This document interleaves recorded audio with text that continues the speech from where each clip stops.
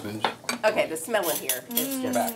out of this world in the Fox 43 kitchen. Yep. Chef, Jackie, thank you very much. welcome. Mm, look Give at us, that. look at that, love that. Okay, Chef, give us a reminder of what all the delicious flavors we got working here today. We're celebrating Thanksgiving. It's a good soup for you. So Marla- Thanksgiving? yeah, yeah. We got to start early. We gotta prep, gotta prep. We got to prep ahead. So mulligatawny, we talked about the history. Mulligatawny mean fire water.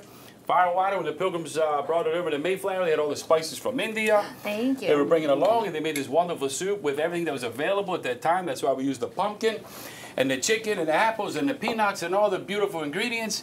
And it just took off, you know. So if you want to make a nice soup all fall long, uh, Ooh, mulligatawny's your answer. I'll tell that you what. is, that flavor. It's, it's light too, that right? is- So yeah, not it's heavy. so And good. then, and you also have this delicious cocktail. Yeah, you got to wash it down. Dracula's, Dracula's kiss. Yeah, you got the pomegranate, you got the bourbon, and the uh, how do you say that? Cham chambord, chambord, Shampoo. chambord. There you Say it however you want. Whatever. Sean. However you say it after a few Dracula's kiss, it doesn't matter.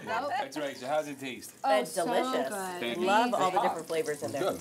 It's not real spicy, you know. No. It's uh, warm, and you can take your, you know, when you make the garam masala, you can add a little bit more if you want. You can add some more chicken if you like.